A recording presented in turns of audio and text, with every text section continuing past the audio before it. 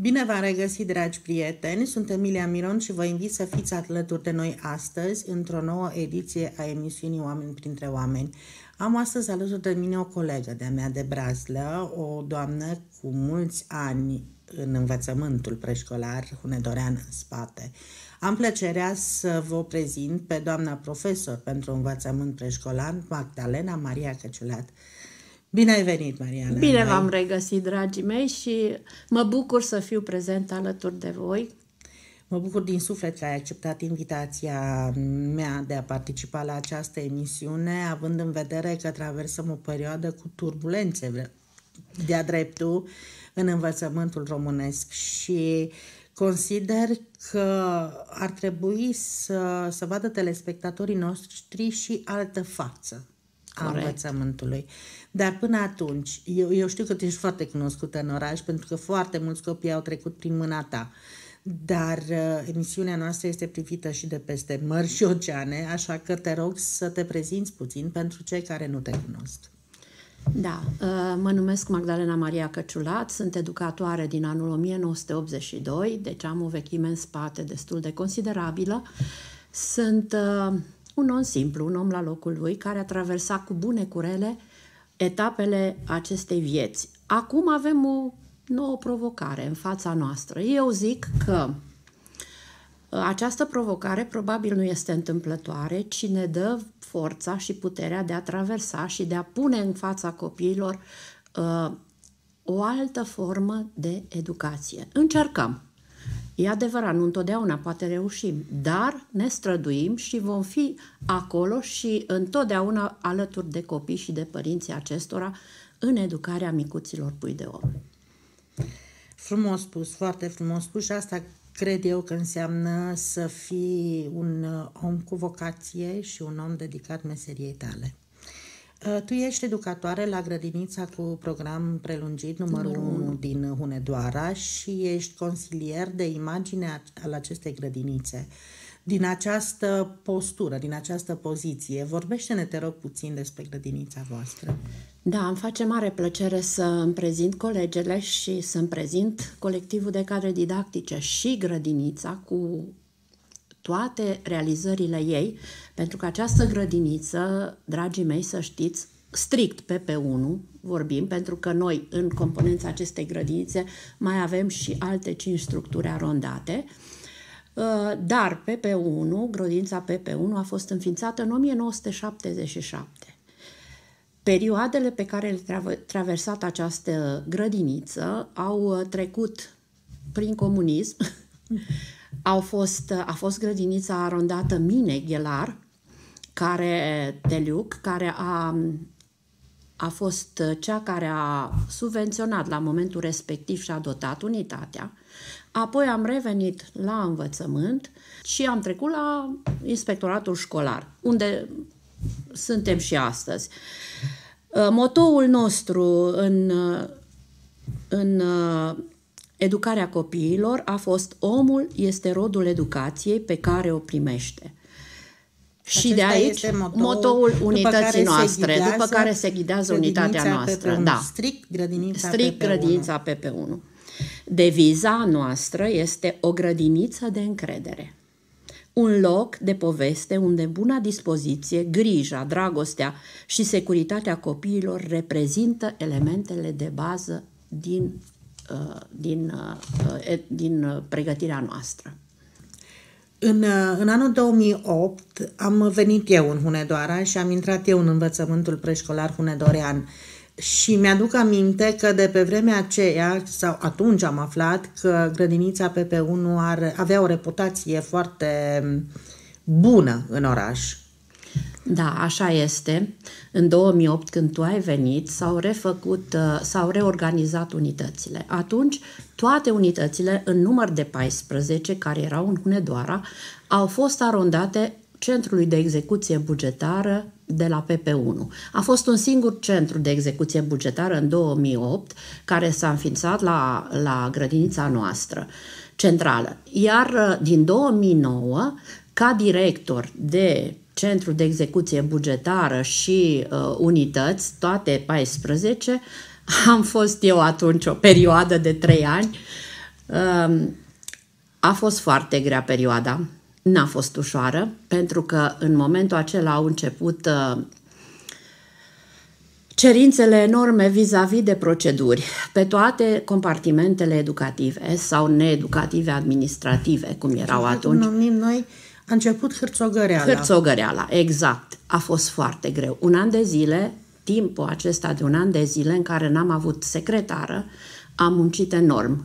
Mm, zic eu că am făcut și am lăsat lucruri în urmă bine puse la punct, pentru că apoi, în 2012, în 2010, cred că s-au împărțit, s-a împărțit cebu. S-au făcut totuși, au dat seama că e foarte mare și un volum de muncă imens și atunci s-au făcut două centre de execuție bugetară, adică două unități cu personalitate juridică, grădința PP1 și apoi zor de zi ulterior Dumbrava Minunată.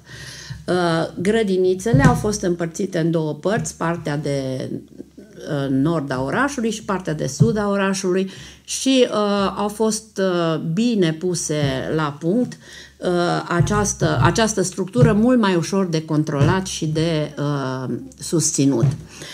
Vreau să vă spun că această unitate a noastră a rămas cu structuri arondate, uh, cu Pepe Licuriciu, Pepe Cinciu, uh, pe, uh, Pepe Piticot, PN6-le, noi uh, PP1 și PN4, care ulterior s-a, s-a desfințat. Această latură demografică a Hunedoarei, care o cunoaște toată lumea, o grămadă de părinți plecați în străinătate, copiii au urmat părinții cum este și normal, a dus la restructurarea numărului de copii, restrângerea numărului de copii, ca urmare uh, s-au mai redus și din unități. Acum funcționăm cu 5 unități uh, uh, în subordine, Uh, eu zic cu oameni valoroși, avem 24 de cadre didactice din 35 care au gradul întâi, oameni valoroși, 8 dintre ele, dintre colegele mele sunt formatori cu atestat și certificat. Am fost uh, patru metodiste a Inspectoratului Școlar Județean și uh, trei dintre noi am fost în consiliile uh, Uh, consiliile județene, consiliile consultative la nivelul inspectoratului școlar județean și suntem dintre noi în, acest, uh, în, acest, uh, în aceste structuri. Eu zic că aceasta spune foarte mult despre Normal. calitatea dascălului care este acolo. Părinții pot avea o deplină încredere în, aceast, în aceste unități și, în general, în Hunedoara. Eu cunosc și colegele din cealaltă uh, unitate și știu că sunt cadre bine pregătite, știu că își perfecționează permanent, pentru că fără o perfecționare permanentă nu putem face față provocărilor din ziua de astăzi.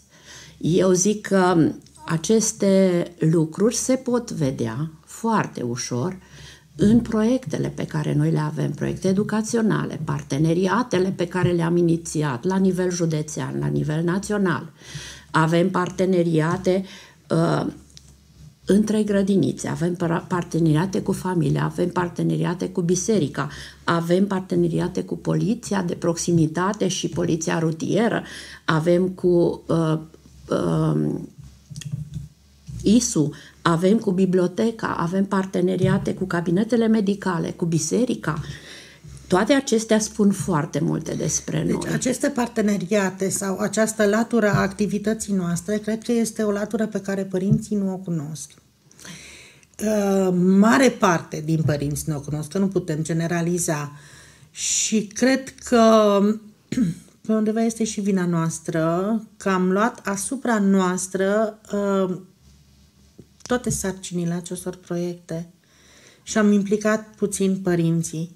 Cred că ar trebui să o facem mai mult pentru a-i conștientiza, pentru că îmi pare rău să o spun, dar pentru mulți dintre părinții care își aduc copiii la grădiniță, noi nu suntem decât niște babysitter, să le spun.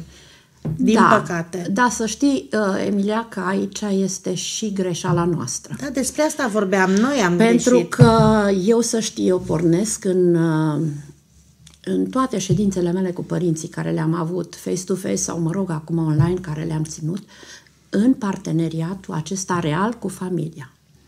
Le-am explicat părinților să înțeleagă perfect statutul pe care îl au vis-a-vis de copiii aceștia.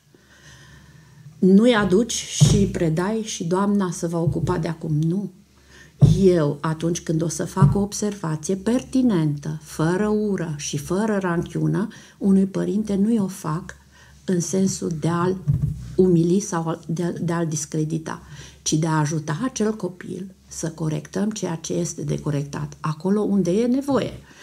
Acolo unde nu e nevoie și e bine, e ok, încurajăm că asta este o gândire pozitivă și promovarea pozitivismului. Trebuie să avem încredere și să le dăm copiilor aripi, să poată zbura mai departe, nu să le tăiem din exact, fașă. Exact. Trebuie să fim acolo lângă ei atunci când copilul are nevoie. Copilul are nevoie și doar de atât. Da, el e, a înțeles, e fantastic pentru el. E fantastic. Dați-le copiilor posibilitatea să poată să vă ajute, părinți dragi, să poată să pună mâna pe o cârpă de șters praful, să poată să pună mâna pe un mop. Nu, tu lasă că tu ești mic, tu nu poți. Nu e adevărat. Copilul ei poate. Pot orice. Pot orice, doar că noi trebuie să avem încredere în ei. Exact. Să-i mobilizăm, să le dăm sarcini concrete pe care mai apoi să le și apreciem. Nimic nu este mai, mai pozitiv decât să-i apreciem. Copilul nu așteaptă foarte mult, nu așteaptă bomboane, nu așteaptă bani, nu așteaptă recompense nu, materiale. Nu, nu. Copilul așteaptă o vorbă bună de la noi. Așteaptă să fie băgat în seamă de multe ori și am avut cazuri nenumărate în anii aceștia de uh, muncă la catedră în care părintele nu și-a înțeles copilul am avut o discuție poate uneori dureroasă pentru părinte, în care i-am explicat unde este greșeala. Poate dureroasă în sensul că am fost poate uneori directă, dar era necesar. Era necesar pentru că acel copil nu știe să-ți spună. El încearcă cumva să atragă atenția, poate printr-o excesivă energie, poate printr-o excesivă uh, răutate la un moment da. dat. Îi se poate spune și răutate, deși eu zic că sunt atitudini uh, copilărești, dar noi va trebui să știm să le corijăm acolo unde trebuie și să vedem cauza, să, să ne ducem la soluții. cauză. Da, să găsim soluții. Nu putem decât împreună cu părinții. Exact. Fără părinți n-am făcut nimic. Degeaba construiesc eu o săptămână și tu de vinerea până duminica n-ai mai făcut nimic. Îl abandonezi unui bunic în brațe sau unei mătuși pentru că nu ai timp. Eu știu. Timpul este foarte prețios. Este prețios, dragii mei, dar mult mai prețios este uh, timpul petrecut cu copilul tău. Și în special timpul de calitate, că degeaba stăm împreună cu el 24 de ore timp în care el se uită la desene și noi butonăm corect, telefonul. Corect. E mai prețioasă o jumătate de oră în care ne jucăm cu el efectiv corect. și toată atenția noastră este îndreptată către acel copil. Pentru el este foarte mult. Este esențial. Da. Este, este esențial. hrană pentru da, a merge da, mai departe. Da, da, da. Da, da, își poate uh, lua uh, ceea ce are nevoie. Să știți, dragii mei părinți, uh, primii primele modele ale copiilor sunteți dumneavoastră. Abia apoi, apoi venim noi, uh, noi dascălii, noi cei care le punem creionul în mână, să nu uităm că de la un uh, simplu copil care vine și nu are nicio deprindere în grădiniță, când a plecat spre școală, copilul acela știe foarte multe lucruri. Nu vorbim despre cunoștințele acumulate, că la unii vin, trec, se șterg. Nu este asta, ci de deprinderi și de aptitudini. Dragii mei, aceste lucruri trebuie pedalat pe ele permanent. Eu uh, am așa o mare, o mare, mare supărare vis-a-vis de această, aceste generații care nu mai știu să dea un bună ziua. Oh. Deci, o mare supărare. Eu le spun părinților și le spun, dragii mei, respectă ca să poți să fii respectat.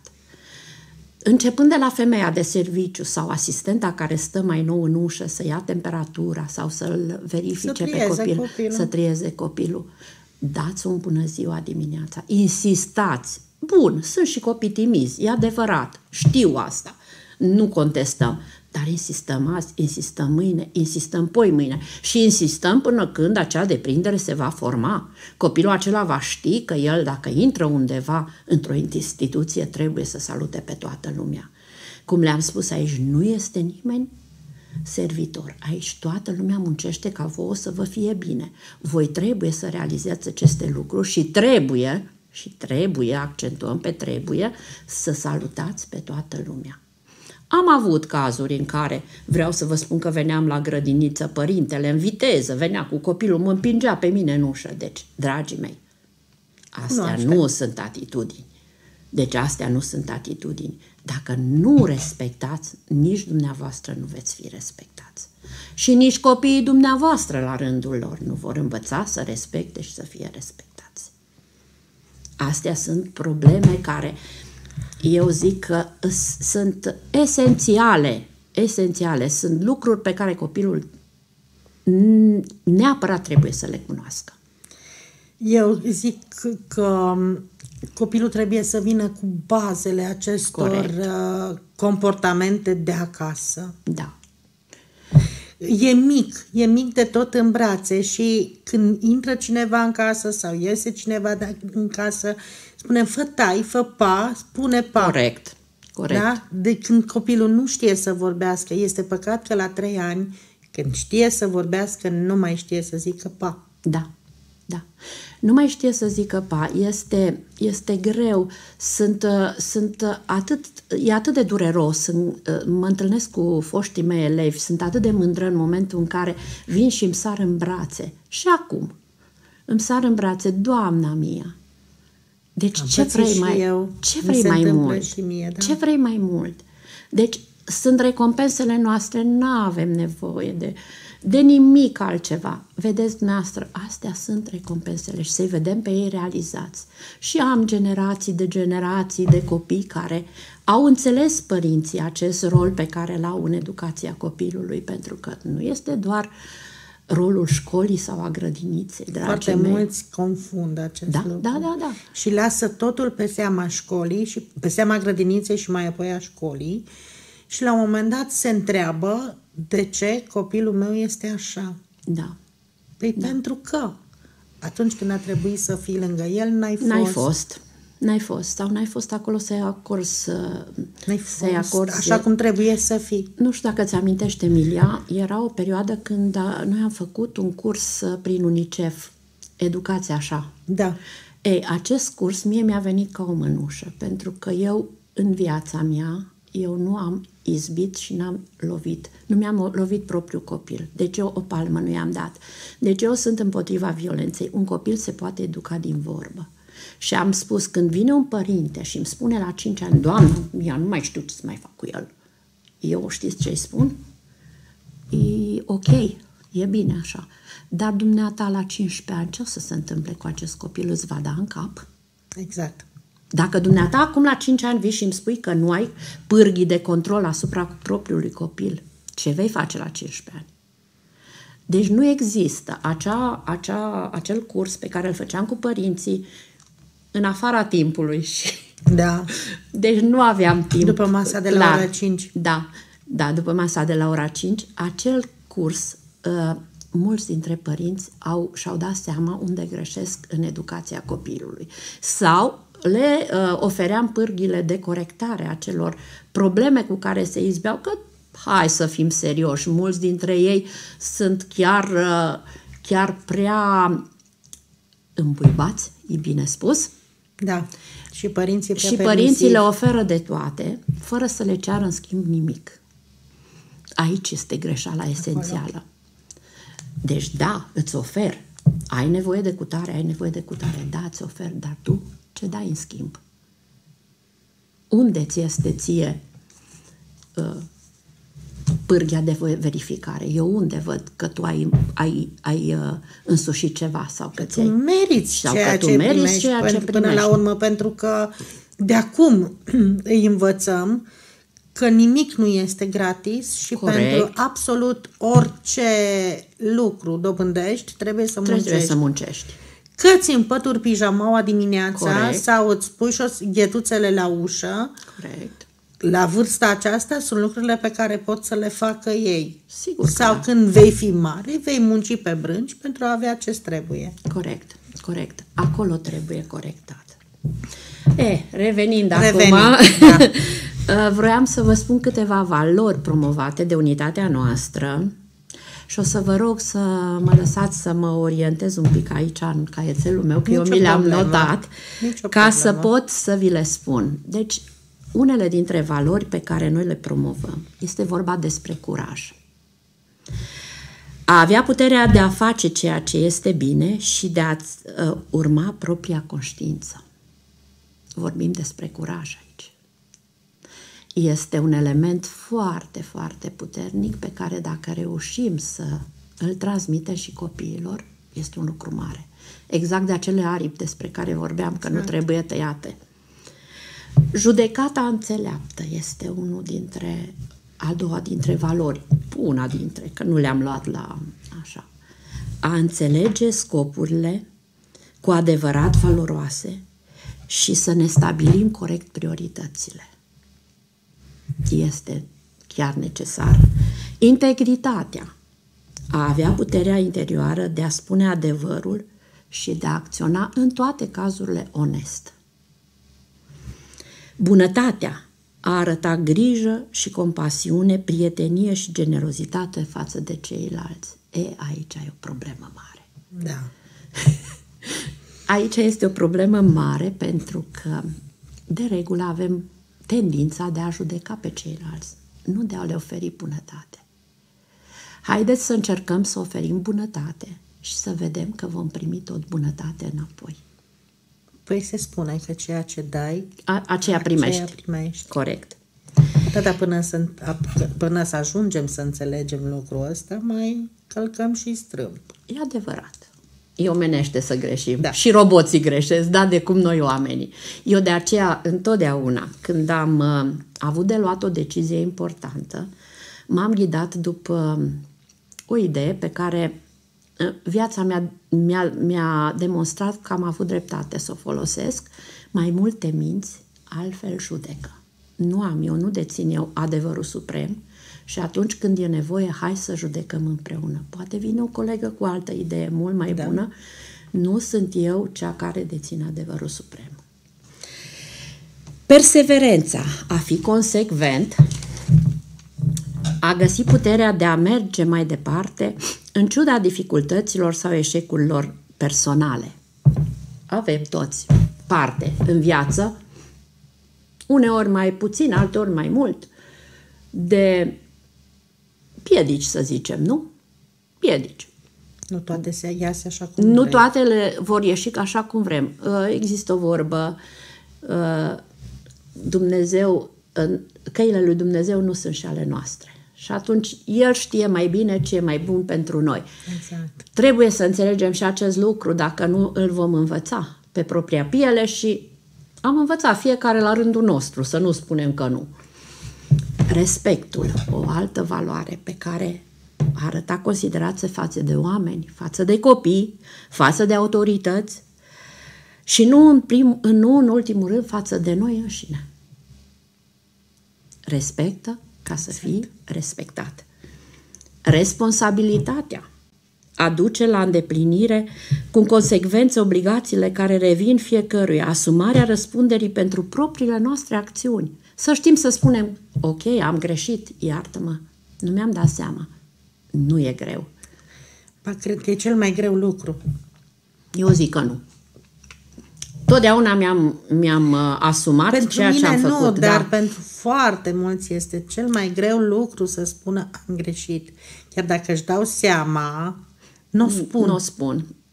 Eu zic că e o greșeală să nu recunoști. Da, și eu sunt de acord cu tine. Că, de fapt, uh, știți cum era o, o, uh, o vorbă bătrânească, tatăl meu ne-o spunea, măi copii, uh, greșeala recunoscută pe jumătate iertată. și atunci așa este, pornind de Păi acolo, da, da. că ne-am uh, asumat-o și am recunoscut-o. Nu suntem perfecți. Dumnezeu, Păi, dacă ar, e ne-ar fi adevărat, vrut, dar pentru cei cărora le vine greu să recunoască că au greșit, uh, simplu fapt de a recunoaște este o dovadă de slăbiciune, iar ei trebuie să fie puternici. Mm, nu cred. Cred că puternic ești atunci când recunoști că ai greșit. Da. Ești foarte puternic în, în, în momentele da, dar acelea. eu vorbesc din punctul lor Da, de da, vedere. da, da, am înțeles. Ei cred că așa sunt Da, puternici. da. Nu vor să pară vulnerabili, absolut exact, deloc. exact, da, așa este. Sunt, sunt persoane. Sunt, sunt, sunt, Acum foarte nu multe. ne-ar fi făcut pe toți identici Dumnezeu. Nu, suntem diferiți și asta face diversitatea să ne adune într-o unitate. este. Așa e. Și încă o valoare pe care noi o promovăm este autodisciplina. A avea control asupra propriilor noastre acțiuni, cuvinte, dorințe. De multe ori ne dorim foarte mult. Mă întreb oare ne sunt și necesare dorințele astea? E, De foarte multe ori nu ne sunt necesare Și și, cu atunci, minte, da. și atunci e bine Da. să, să avem un... Deci acestea sunt valorile după care unitatea noastră se conduce.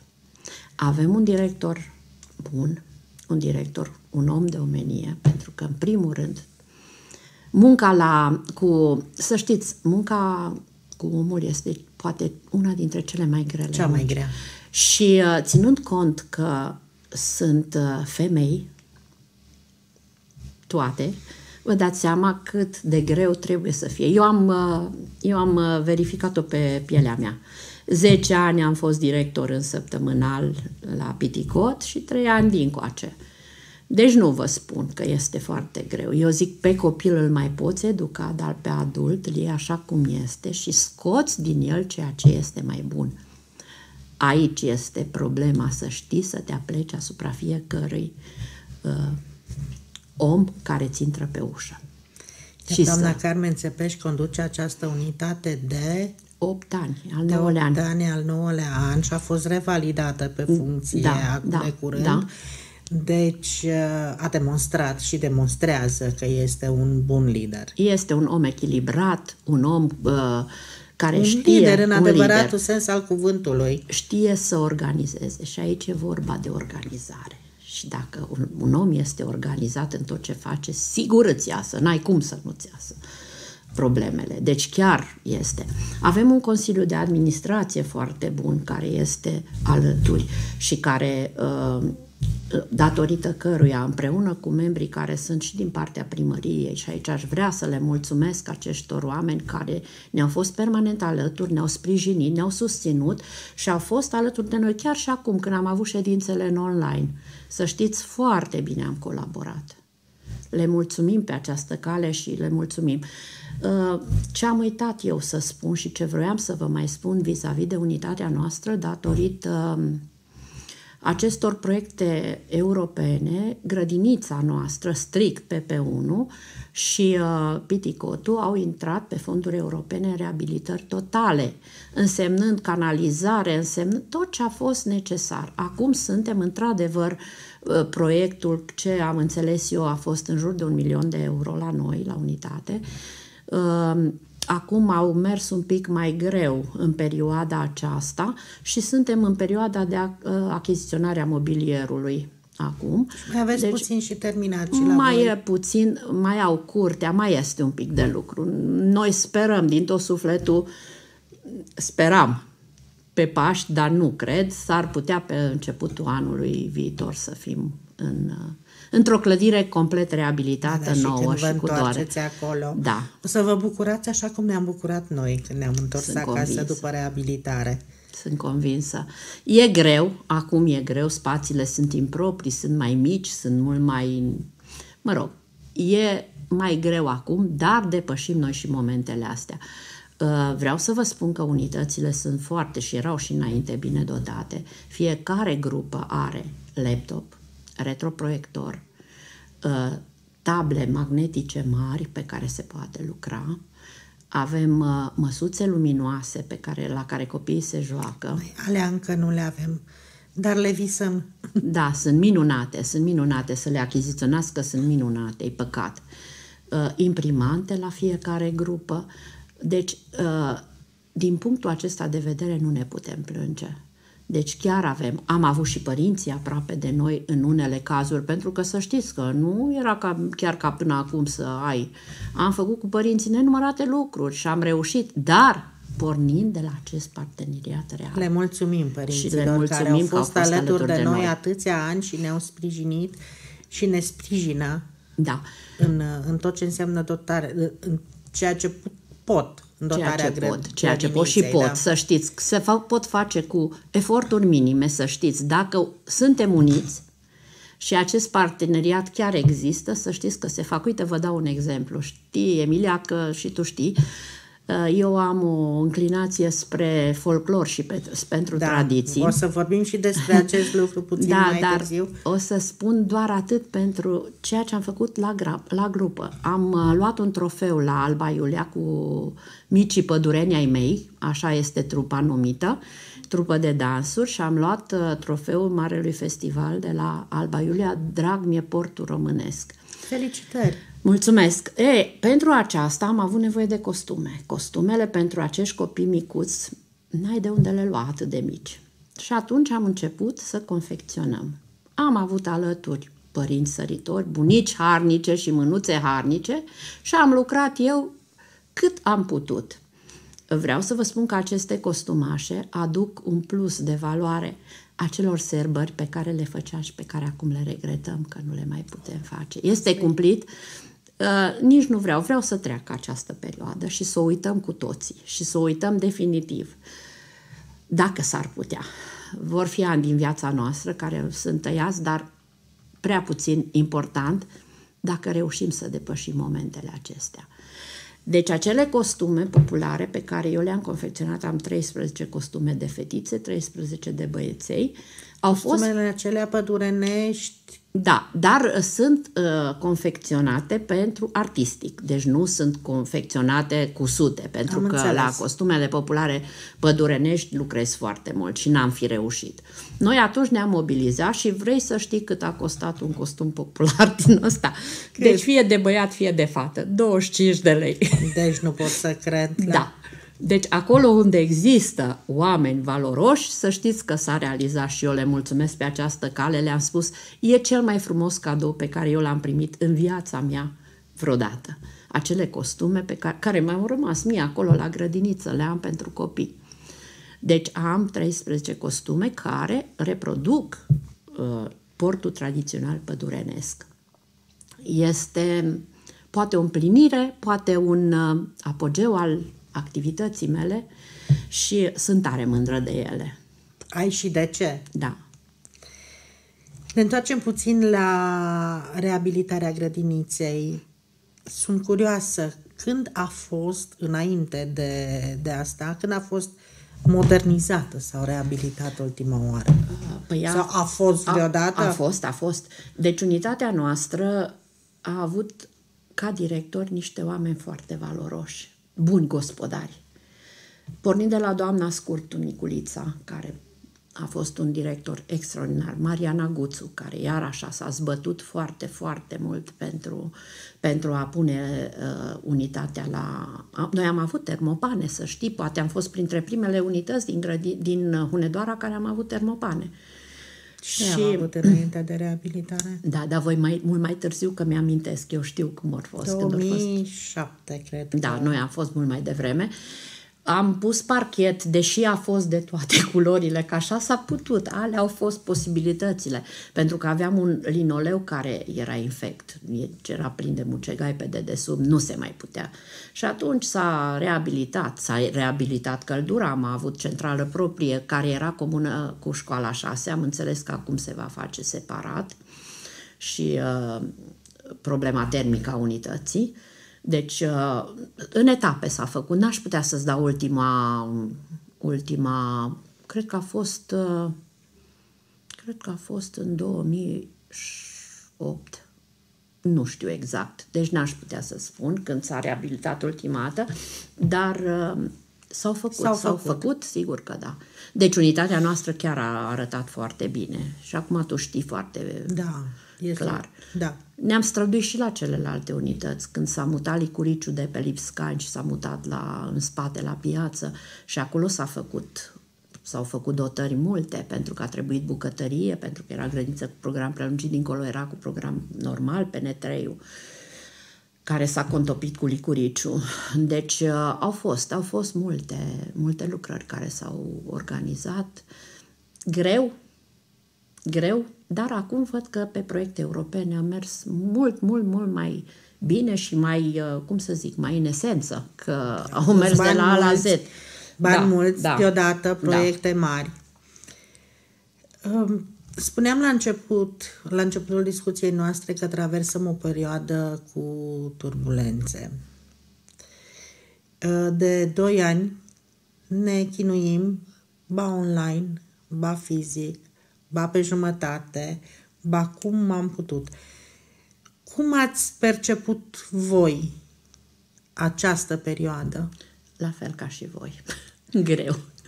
Greu a fost, foarte greu. Din ce punct de vedere greu? Deci nu este greu um, să-ți planifici niște activități. Este foarte greu să le transpui în, as, în așa fel încât eu zic că am muncit de trei ori mai mult. Da, așa este. Deci părerea mea este că am muncit de trei ori mai mult pentru că odată gândeam planificarea care trebuie să o fac eu, care ar fi trebuit să o fac eu cu copiii, apoi încercam să o transpun pentru copii ce trebuie să rămână copil cu ce trebuie să rămână și apoi cum să le explic părinților. Eu anul trecut am avut grupă mică, îți dai seama că N-avea da, nicio am pretenție avut și eu, tot să grupă stea... mică anul trecut. Da, am, început, da. Uh, am început online-ul cu grupă mare și acolo a fost o durere cruntă da. pentru mine și pentru toți copilașii mei. Lumea. Că nu am mai reușit să ne întâlnim înainte da. de vacanță. Au plecat de la grădiniță ca, ca de, de la... la casă pustie. Corect, același sentiment l-am avut și eu. Știu că um, m-am întâlnit cu părinți care mi-au spus Păi nu vrea să meargă la școală.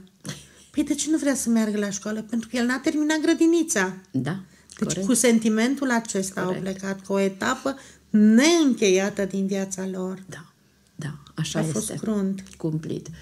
Um, anul trecut, uh, cu grupa mică și mai greu, părinții neinițiați, neobișnuiți cu grădinița, era foarte greu. Am lucrat foarte mult pe grupurile de WhatsApp și de Facebook create. Am lucrat foarte mult la PowerPoint-uri pe care le-am prezentat cam ceea ce îmi doream eu să iasă și spre surprinderea mea să știți, dragii mei și să știe Emilia, chiar am avut rezultate. Chiar nesperat. Am, am o mămică pe care o felicit din toată inima mea, are patru copii. Unul este la școală, una, o fetiță este la mine în grupă și doi gemeni. Deci ce lucrări mi-a trimis mămica aia și ce muncă a depus cu copiii acasă, eu vă spun, greul n-a fost la noi. Că noi suntem obișnuite să le, să le uh, planificăm și să ni le facem așa cum știu greu a fost la părinți. Și cu ce s-au izbit cel mai tare părinții? Faptul că nu, va, nu mă ascultă doamna ca pe dumneavoastră. E adevărat? Așa e. Metoda.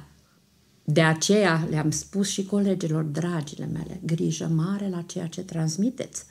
Pentru că acel părinte, odată presiunea că trebuie să stea acasă cu copilul, a doua, este presiunea serviciului. Nu știi, azi îl ai, mâine nu-l mai ai. Și al treilea, să faci ce ți-a zis doamna. Păi ce să faci? Faci matematică. Trebuie să ne coborâm la nivelul tuturor. Și era foarte multă muncă, deci imens, eu am muncit imens în acele perioade, se poate vedea că eu mi-am postat pe site-ul inspectoratului munca mea, adică PowerPoint-urile toate le-am transmis, pentru că am zis, e poate un ajutor pentru colegele care Clar, vor dori să este un ia ajutor. ceva. Acum, Știți cum mai zicea taică mi încă o vorbă înțeleaptă că eu revin la, știți, înțelepciunea bătrânilor. Cea mai tată, dacă vrei să înveți ceva și de la ultimul om de pe stradă, ai ce învăța. Normal. Numai să știi ce să iei. Problema e să știi ce să iei, să alegi. Deci, așa și la noi.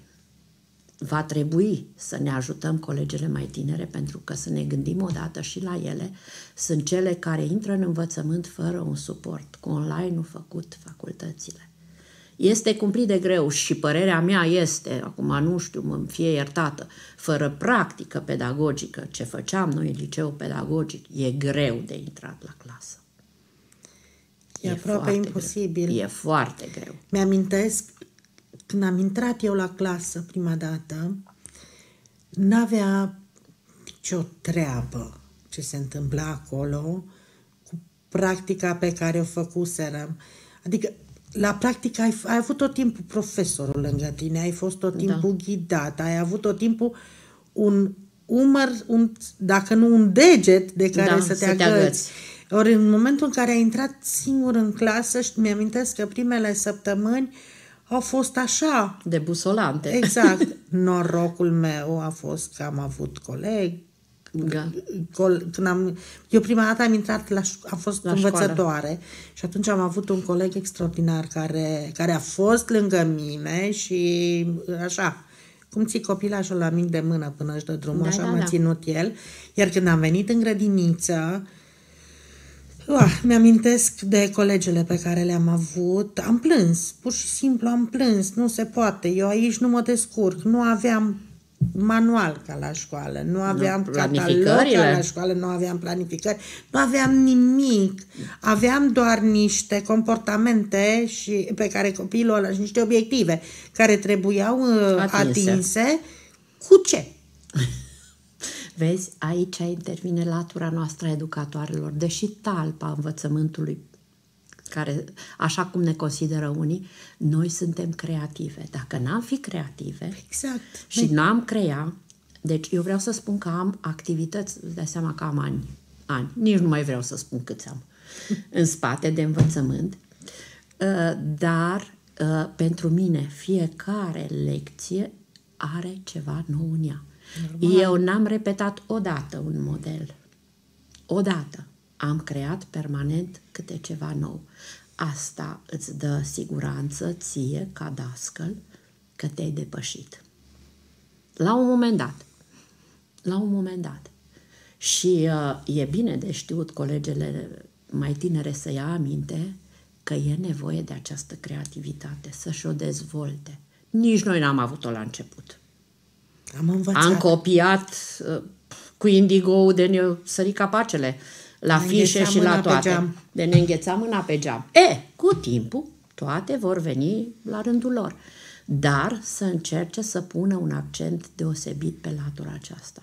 Eu am fost și metodistă a inspectoratului școlar și am avut prilejul și zic eu, um, a fost un, un, o, o oportunitate în care să observ din afară formarea noilor dascăli. Și cum ți se pare? Uh, sunt foarte multe fete care au vocație, dar fără să pui mâna pe o metodică, n-ai să, faci, să faci treabă niciodată. Metodicile nu s-au mai editat, ele nu au acces la ele. Noi le avem pe cele vechi, noi le-am și făcut în școală cum trebuie. Da și astea ne-au ajutat foarte mult. Deci părerea mea este că orice pretendent la titlul de dascăl în învățământ să pună mâna să învețe metodicile. Pentru că alea te ajută foarte, foarte mult în activitatea pe care o desfășori. Deci uh, am văzut, am văzut și tinerele foarte bune, foarte bune, deci sunt mândră de unele dintre ele, chiar uh, debordant de creative, debordant de atente la tot ce înseamnă ținută, atitudine, uh, la tot ce înseamnă limbaj. Deci am, am rămas uh, plăcut impresionată din, de, din foarte multe puncte de vedere a unora dintre ele. Dar mai e de lucrat și aici zic eu că liceele pedagogice, părerea mea că e baza, Sfinte. baza toate că acum, din ce am înțeles eu, liceele pedagogice nu mai scot... Uh, nu, sunt da, vocaționale. Da. Am eu o nepoțică care este la liceu pedagogic la Blaj, acolo unde am făcut și eu. Da. Și am înțeles că la absolvirea liceului nu este nici educatoare, nu, nu, nu, nici învățătoare, nu. este puericultor. Da. E păcat pentru că acolo, în licee, se făcea practica aia temeinică. Temeinică, sigur că da. Mi-amintesc, am avut sute de ore de practică, aveam trei tipuri de practică. Practica de o zi, practica curentă, curentă și practica comasată. comasată. Sute de ore. Da. Uh, culmea, uh, ca să vezi că, știi, uh, nimic nu e întâmplător în viață, eu practic acomasată am făcut-o la grădiniță unde sunt acum, în liceu. Da. Și am avut posibilitatea să o cunosc și pe fosta doamnă directoare Scurtu Nicolița, care chiar era un om așa cum trebuia să fie. Care a fost cea mai mare mândrie a vieții mele? Nu. Am ajuns să fiu colegă de servici cu educatoarea mea. A, ce frumos! Deci a fost... Minunat, minunat. Cred că nu e o împlinire mai frumoasă și pentru doamna. Da. Și pentru doamna și chiar poate fi mândră. Da. Chiar plan profesional a fost cea mai mare împlinire a vieții mele. Ce frumos, foarte frumos. Eu cea mai mare, adică nu cea mai mare, nu mă pot lăuda că a fost cea mai mare, dar una dintre, dintre uh, lucrurile care spune multe despre un dascăl este că am primit invitație la nunta unui fost elev, care din păcate n-am apucat să mă duc, am avut alte, dar am primit invitație la nunta lui. Ce frumos! Minunat, minunat, minunat. Vezi, stăm și vorbim două educatoare despre ce, ce ne aduce nouă meseria noastră. Multă lume zice, vă jucați patru ore da. cu copiii. Și ce faceți mare lucru? La școală se văd rezultatele mult mai uh, rapid, mult mai da. concretizate în calificative, în note și așa mai departe. E, la noi, astea sunt uh, roadele muncii noastre. Exact, exact. Faptul că ți-ai lăsat amprenta asupra unui copil care nu te uită niciodată. O parte din sufletul lui acolo suntem și noi. Da. E un lucru mare și acolo trebuie să înțeleagă fiecare dascăl că va rămâne cu ceva în sufletul copilului pe care l-a educat. Roatele muncii noastre nu se văd imediat, dar se văd privind așa la început și la sfârșitul grădiniței. Atunci da. îți dai seama de unde l-ai luat și unde l-ai dus. Mi-amintesc că um, cândva într-un interviu pe care l-am acordat unei publicații hunedorene, am fost întrebată uh, cum reușesc să, să fac față acestei meserii și copiilor. Și atunci uh, le-am spus așa cum am gândit și chestia asta am ținut-o minte și o port cu mine, că cel mai important lucru este să poți să te cobori la nivelul copilului și de acolo să-l ridici împreună cu tine. Corect, corect, foarte frumos spus. Și mai este o treabă foarte importantă pe care uh, atunci când te întreabă cineva cum reziști, cu multă iubire și cu multă exact. dragoste. Dacă nu există această iubire pentru copil, n-ai ce căuta în meserie. Clar, îți nu. alegi altă meserie, Clar, te duci nu. și îți cauți altă meserie pentru că nenorocești generații și te nenorocești și pe tine în ultimă instanță pentru că nu faci față. Ori dacă nu iubești meseria și nu iubești copiii, lăsând la o parte orice fel, oare de câte ori, Emilia, nu am dus de acasă o grămadă de lucruri. Oh. Deci să nu ne amintim că nu are rost. Sau de câte ori nopțile ni le-am mai pierdut. plecăm din grădiniță. Exact. Sau nopțile pierdute acasă să facem materiale pentru că eu și acum, de exemplu, eu nu intru la clasă fără planificare sau fără să am materialele necesare lecțiilor din ziua respectivă. Nu-mi pot permite așa ceva. Câteodată poate când mă întoarce copilul taman invers și vrea altceva, nu e o problemă, mă repliez pe dorințele lui, dar lecția pe care eu mi-am pregătit-o nu abandonez definitiv. Mm. O voi face altcândva, dacă văd că nu, nu a mers în ziua respectivă. Trebuie să avem și această înțelepciune. Vorbim de valori. Exact. Vorbim de valori. Trebuie să ai și o înțelepciune de genul ăsta să poți să înțelegi ceea ce se poate și ceea ce nu se poate la un moment dat. Cum ți s-au părut copiii întorși după pandemie. Nu după pandemie, după perioadele după de perioada online. de online. Păi ce să zic, parcă am luat-o de la început. uh, au început, uh, cum să spun, dornici totuși. Ei doreau să vină la grădiniță, își doreau să fie împreună, deși cu distanțarea aceea care era de un metru, cu măsurat prin clasă, cu pus băncuțele. Deci nu vă spun cam ce am muncit pe te- tema aceasta. Să până avem, intrat până... în clasă. Uh, da. Mie am... mi s-a spus, Emilia, mai lasă-mă în pace cu regulile tale. Da, până le-au înțeles. E greu, dar cred că va trebui să ne obișnuim și să trăim cu ele de acum încolo, din păcate. Și asta este o mare, mare o, semn de întrebare în inima mea, pentru că niciodată cred că nu va mai fi cum a fost înainte. Nu, nu. Cum a fost înainte, probabil nu. Dar vom reveni la o normalitate uh, acceptată de toată lumea. Adică, deci mie îmi vine greu să cred că de acum încolo va trebui să trăim distanțați. Omul da. este o ființă socială. Exact, exact. Uh, copilului se dezvoltă la vârsta asta această capacitate de a socializa. Și de a nu fi egoist. Și, și de, de a nu fi egoist. Eu am spus la începutul pandemiei și mă rog lui Dumnezeu să nu am dreptate, dar această generație de copii mă tem să nu fie o generație cu un handicap emoțional din acest da, punct este, de vedere. este clar, este clar. Deci este. Nu ai cum, pentru că și-a pus amprenta asupra noastră, a adulților. Eu văd în jurul meu o grămadă de oameni care, oarecum, oare vai, vai, oarecum. Zic echilibru, echilibru. Echilibru în toate, pentru că dacă nu... Ei acum învață să socializeze. Da, corect. Ori dacă în perioada în care învață să socializeze, nu socializează, când mai învață? Da, da, da, e greu. Este o durere cruntă a mea și a noastră a tuturor, că toate suntem expuse acelor, acelor reguli, probabil, și da. nu suntem oameni care să nu respectăm regulile, că așa le respectăm, le respectăm normal. pentru că suntem convinși și am văzut ce poate face acest virus, este cumplit. Nici nu vreau să-mi amintesc astăzi despre el. Încerc să-l ignor.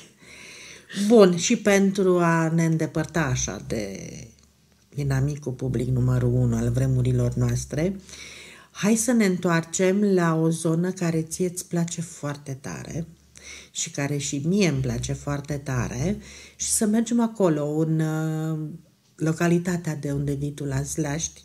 Da. Și să ne vorbești puțin despre activitatea ta culturală de acolo și despre minunatele șezători pe care le-ai organizat și pe care sper din tot sufletul să le reorganizezi să le în curând. lua. Da, deci este o durere și acolo, vezi încă un, un uh, ghimpe așa pus în, um, pentru că n-am mai putut organiza. Să știți, uh, uh, eu am mai povestit colegilor și le-am spus, eu am pornit uh, apropo de șezători, dintr-o simplă vorba unei consătene de-a mele, o tanti care astăzi călătorește printre stele puțin, nu de mult timp a plecat, care a zis, bine, doamna mia, dumneata faci serbări cu copii, făceam la biserică de Paști, de Crăciun, întotdeauna eram cu Colinda peste tot cu ei, cu copiii din sat, copii care mi-au fost mulți dintre elevi, dar îi adunam pe lângă biserică. Am făcut ateliere creative pentru le-am organizat o excursie pe banii lor și au făcut uh, uh, de Paști obiecte pe care și-au făcut târgu acolo la biserică, le-au vândut și din bănuții strânși, de acolo ne-am dus în excursie. Am zis, mergem într-o excursie, am fost plecați la Cluj, la mănăstire la Bic, deci foarte frumoasă excursie am avut pe tema asta. Ei, și acea tante au zis, bine, faci, șeză, faci uh, serbări cu copii, dar pe noi într-o șezătoare nu ne aduni. Și am zis, hai, de ce ar fi? Hai să pornim, tanti. Și așa am pornit prima mea șezătoare. Să știți că fără socializare și fără a avea oamenii aproape nu faci nimic. Exact, exact așa a fost la noi. Noi ne-am constituit într-un grup de oameni care și-au dorit aceste lucruri, apropiați de tradiții, de obiceiuri și cu regrete că acele lucruri n-au mai fost ținute în vatra satului. Uh, Zlaștiul este un sat în apropierea castelului, la 3 km de Hunedoara, la 3 km de castel. Zlaști vine de la zlătari, căutători de aur. Râul mm. Zlaști era un râu considerat aurifer, dar satul nu a fost aici inițial, a fost sub poale de Poiana Răchițelii, între Fereș și Răchițele, Poiana Răchițelii.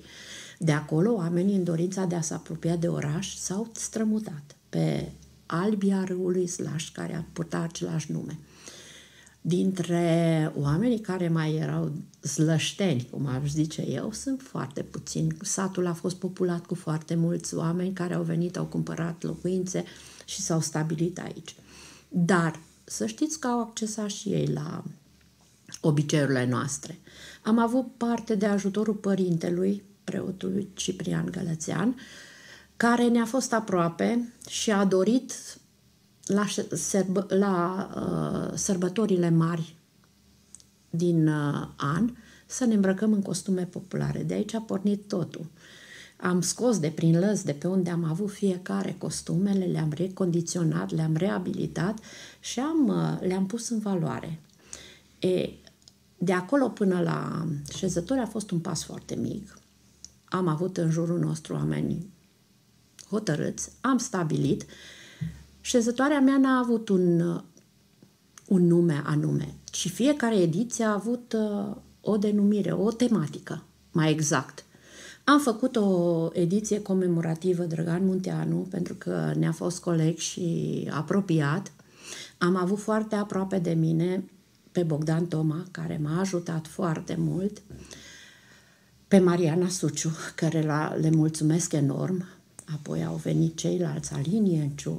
Încet, încet au venit toți soliștii noștri hunedoreni care au venit pro bono și au susținut aceste șezători cu cântecele lor minunate. Uh, vreau să vă spun că am făcut o temă în care am uh, promovat pricesnele. Pentru că șezătoarea se ține în postul Crăciunului și până în postul Paștelui. Și atunci, sigur, am prins perioada de post. E, dragii mei, în acele perioade de post se mânca mâncare de post. Și atunci cum procedam? Stabileam, bun, ce facem? Săptămâna asta avem de post, ce facem de mâncare? Alături de mine a fost iar așa un om extraordinar, căruia îi place bucătăria foarte mult, Mișu Pupăză, care el a zis, eu vă fac mâncarea.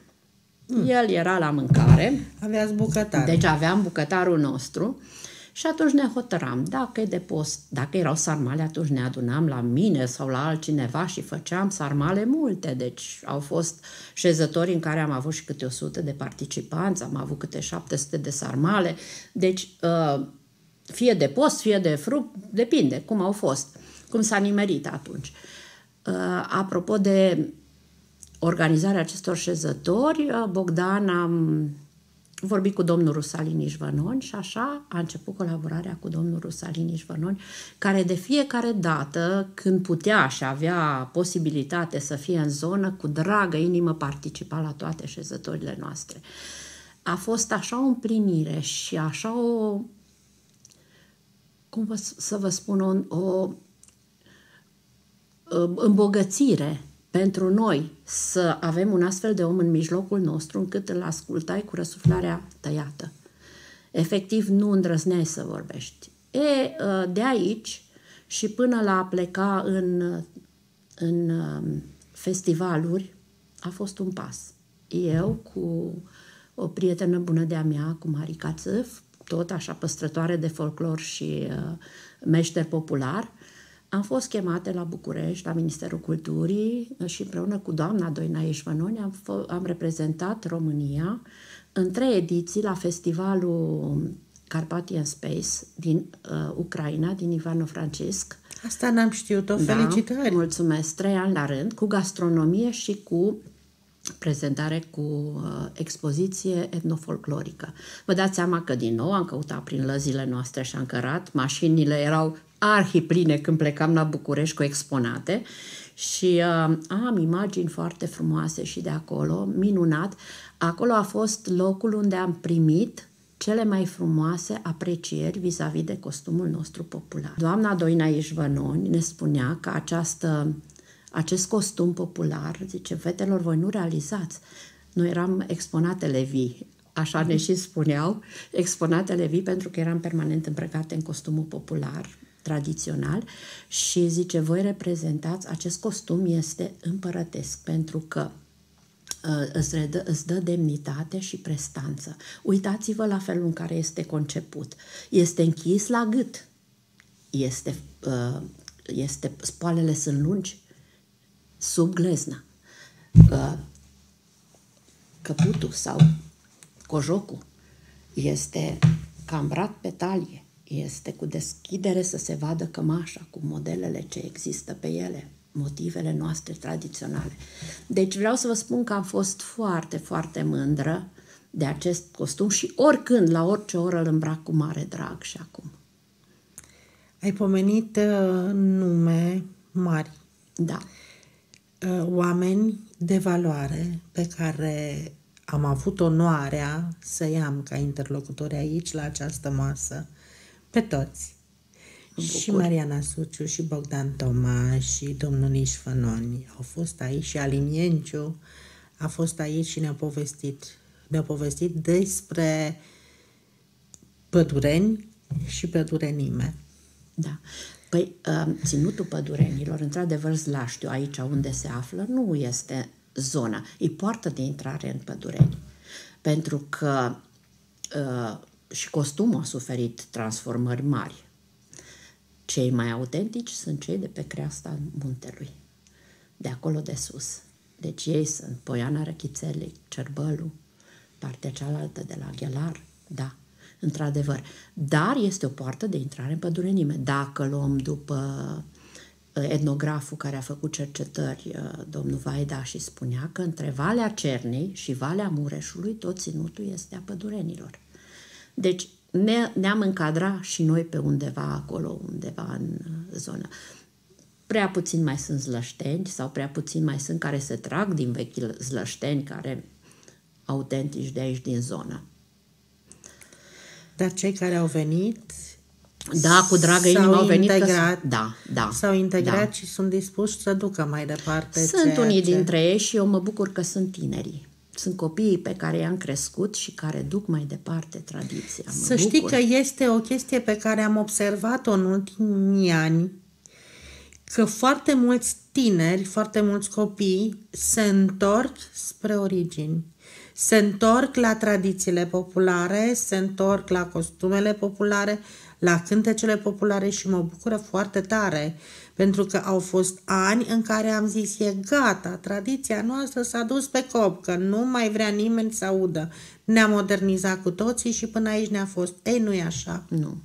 Nu. Și exact cum uh, vorbeam adineauri uh, despre normalitate, probabil că nu o să ne mai întoarcem la ceea ce a fost în aminte de martie 2019, dar o să ne întoarcem la normalitatea aia cu minte pe care o merităm. O să ne întoarcem la lucrurile simple și valoroase. Ăsta este crezul meu.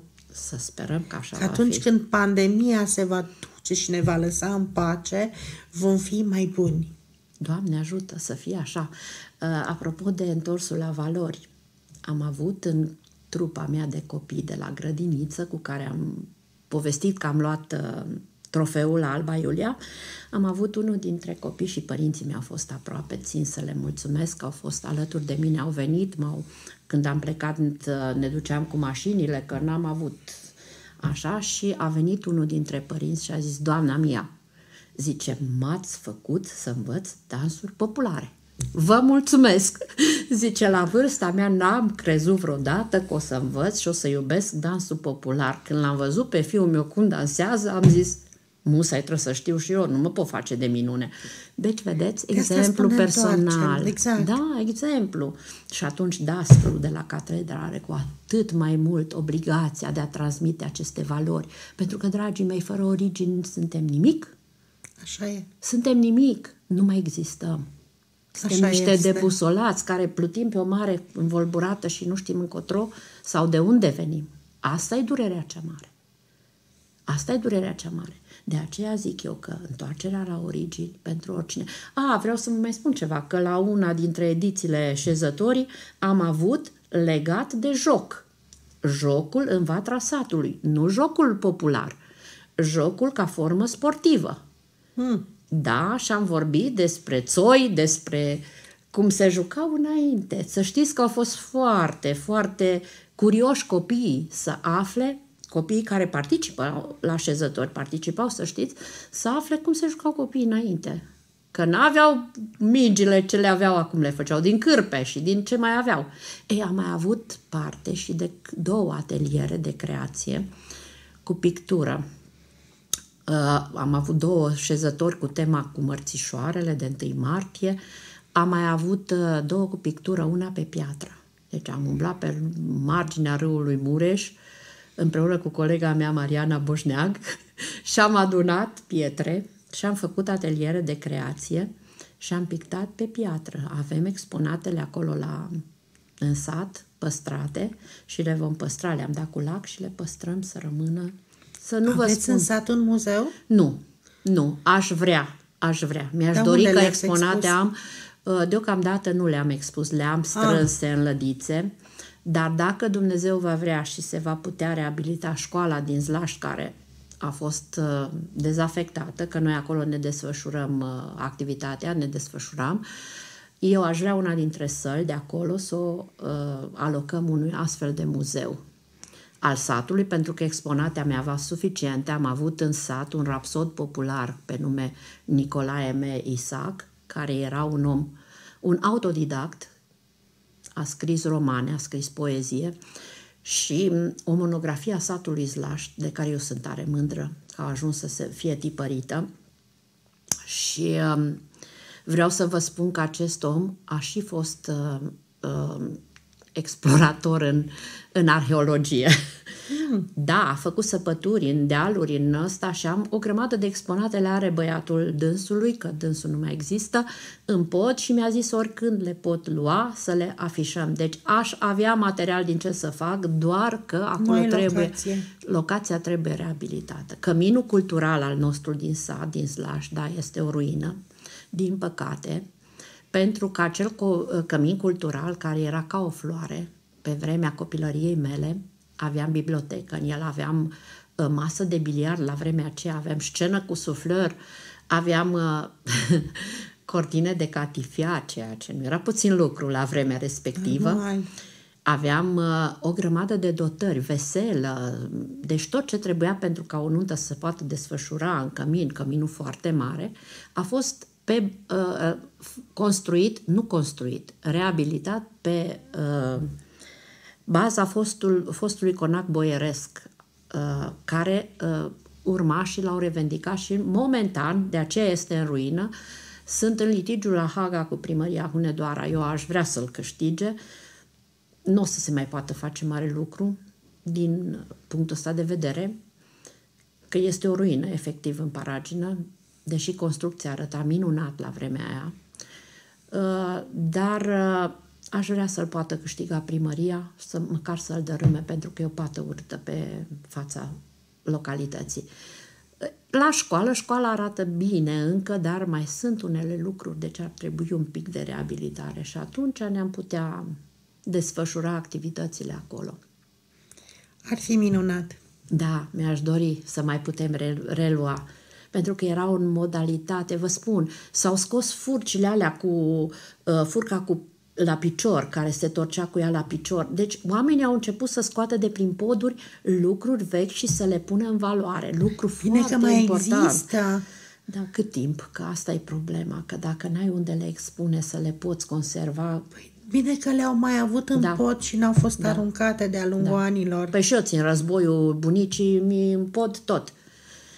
Că n-am unde le expune, că l-aș duce. Deci l-aș duce acolo.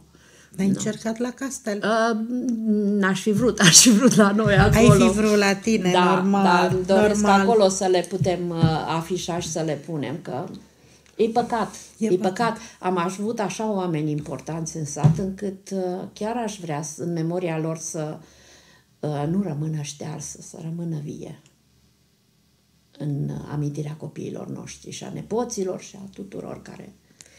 Așa să fie, Maria. Îți mulțumesc din suflet că ai fost astăzi alături de noi.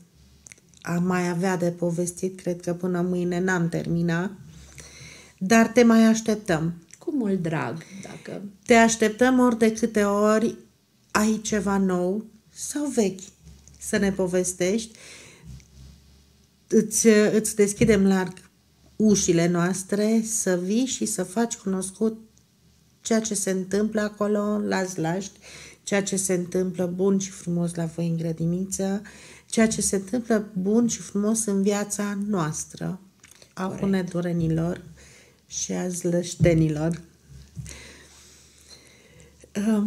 Ce să spun, anul este tânăr și nu pot să, să mi-a rămas bun de la tine înainte de a-ți ura un an frumos, plin de bucurie și să dea Dumnezeu să scăpăm de păcătosul ăsta, de virus ca anul următor să ne întâlnim din nou și să spunem gata, a trecut și a fost frumos. Da, mulțumesc din suflet eu pentru invitație și aș vrea să nu ne luăm la revedere înainte de a ura tuturor părinților, a copiilor noștri de la grădiniță, a colaboratorilor noștri, a tuturor oamenilor care au făcut posibile viața noastră frumoasă acolo în grădiniță, un călduros și sincer la mulți ani, cu sănătate, că e mai bună decât toate. La mulți ani! La mulți ani! Dragi prieteni, am avut-o astăzi alături de noi pe educatoarea uh, Magdalena Maria Căciulat de la grădinița PP1 Hunedoara. Ne-a vorbit frumos despre grădiniță, ne-a vorbit frumos despre lucrurile pe care le face acolo la ea în sat, la Zlaști. Uh, eu sunt Emilia Miron. Până data viitoare, toate cele bune. Aveți grijă de voi. La revedere! thank you